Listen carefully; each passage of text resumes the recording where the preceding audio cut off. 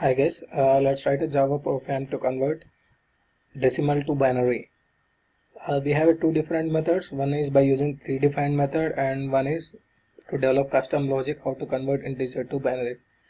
But in this session we'll see only we'll make as simple as possible and we'll be using only a predefined method which is available in integer class. Okay, let's write the program. New class integer to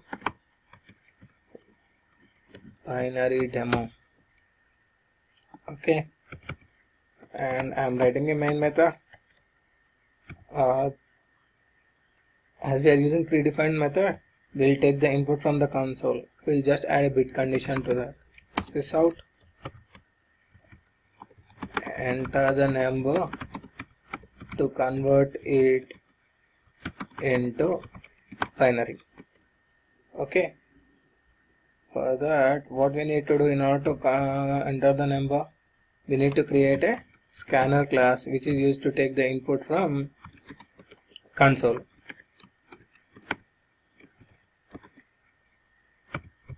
System.in scanner sa equal to new scanner of system.in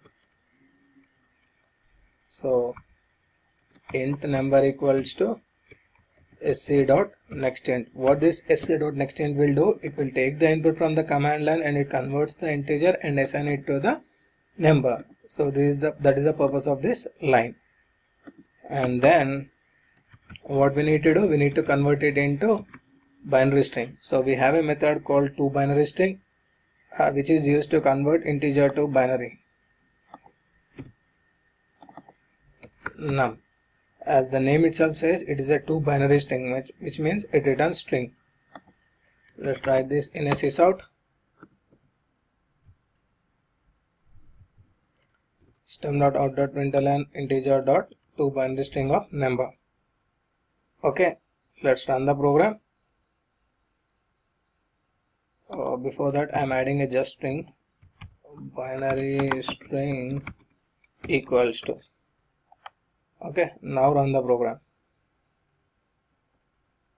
Run as java application. Enter the number to convert into binary. I'm entering number 14 so binary string of 14 is triple one zero. Okay so what is when we convert 14 into binary it becomes triple one zero.